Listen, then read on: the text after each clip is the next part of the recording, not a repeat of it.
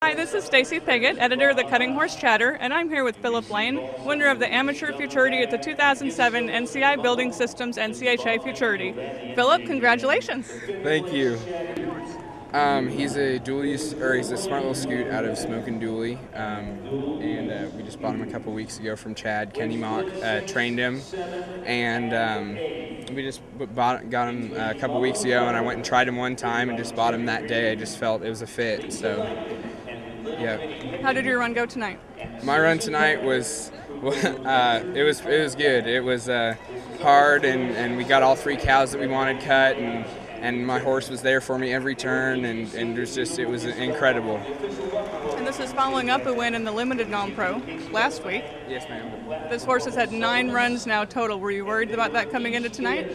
I kind of had it in the back of my mind that I was a little bit worried about it, but. Um, he, he came through better than we could have even possibly imagined and you know without any any medication or anything he stayed sound the whole time and, and he doesn't take very much loping and, and we don't have to work him very hard so it was just um, he's just a really good horse that, that just came through for us more than we could have expected. I imagine he's going to get some well-deserved time off. Yes ma'am he will.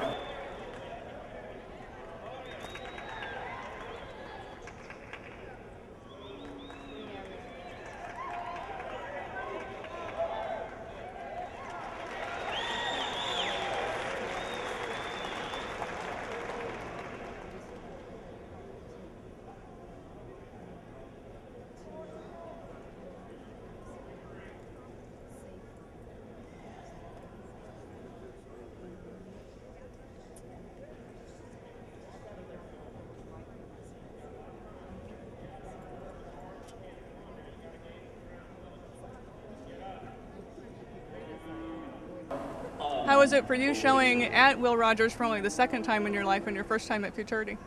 Um, it's just the expectations we exceeded impeccably. We just we would never have expected to do this well, and um, we were just trying to make the amateur finals, and then just did way more than that. And it was just it's very exciting. Philip Layne, congratulations. All right, thank you.